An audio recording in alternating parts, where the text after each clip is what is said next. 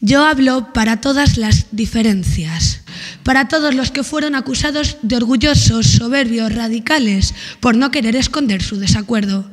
Yo grito para los que son periferia, alejados en su pureza del putrefacto centro, lejos ya de la masa pelotonada por encajar en sus márgenes declarados, supervivientes en los extremos olvidados de sus jerarquizados círculos concéntricos.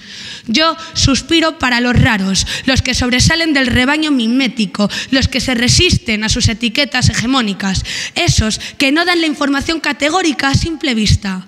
Yo proclamo nuestra disidencia, nuestro gesto, nuestro desafío, nuestro desintegro. No comemos en sus abrevaderos, no enfilamos sus mataderos, no borramos nuestras aristas. Imperfecciones para ellos, nuestro perfecto difiero.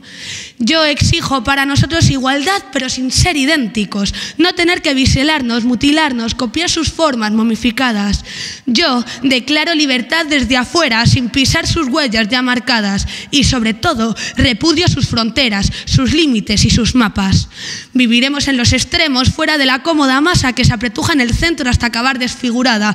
Desde lejos se nos mira con desprecio, exiliándonos de sus mapas, cartografías de lo cobarde, lo vendido, lo asimilado pero nosotros marcamos los nuevos territorios que en el futuro serán imprescindibles para que sobreviva esa masa, cuando ya no tengan espacio para esconder su individualidad, para encajar.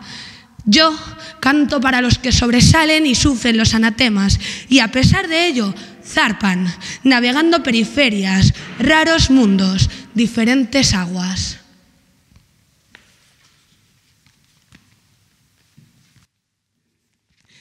Bien, ahora sí. Justo iba a pasar un gato justo por aquí y se ha ido